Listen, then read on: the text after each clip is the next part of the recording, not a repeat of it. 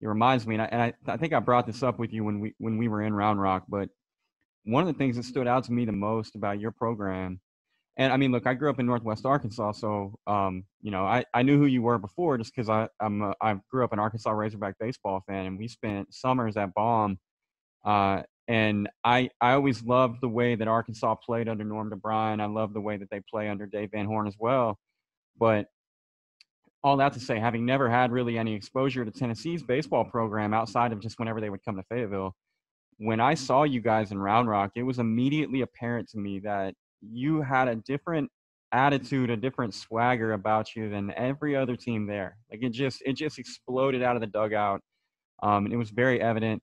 I, I think even to the point of you know the the traditionalist baseball fan, I think that that they that they may even look at Tennessee and be like, well, there might be too much personality there. I love it, and I know your guys love it. Um, so I guess a very long way of just asking a simple question, which is, you know, how do you go about allowing your guys to be themselves and and in a way that really resonates with the 18 to 22 year old?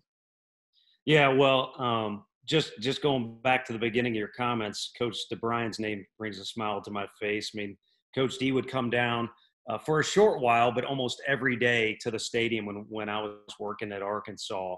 And uh, he's a legend and, and kind of things he did bled into coach van horn's regime.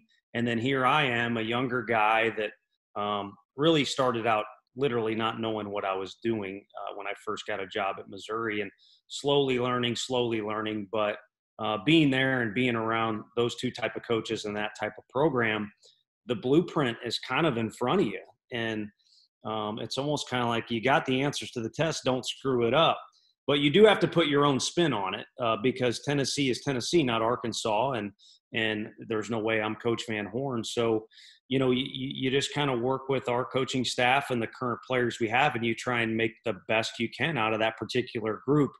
And I think for whatever reason, that group just melted into, um, you know, it's easy for me to say now. I don't know how many games we would have won, but it kind of melted into a force.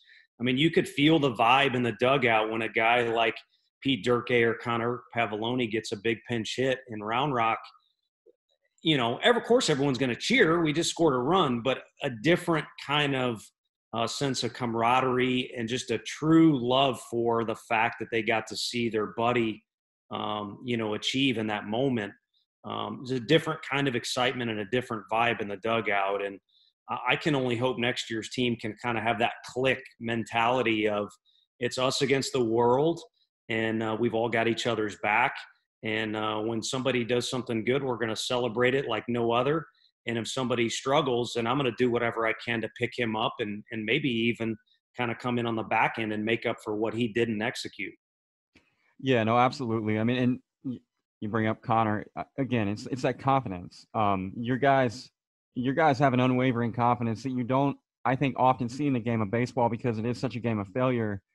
Uh, you know, when I'm again when I'm talking to Evan before the event even starts, and he's talking about going four and zero oh against three really good teams, and then Connor after that after his big pinch hit appearance in Round Rock, uh, we, you know, I pick him up outside the dugout after the game, and the first thing he tells me is uh, that he knew he was going to do that, that he was ready to go. Like he, he, you know, and I think an inning or two innings in advance, he told me that he was already mentally getting ready for that at bat, um, and he already saw it happening in his mind, which you know, as we know, is half the battle. So that that unwavering confidence, um, that you know, is I call it I call it swagger, but really that, that you know, at its at its purest form, it's just overwhelming confidence on your team, and it really comes through. Um, so anyway, all that to say, it's it's pretty no, cool I, to watch.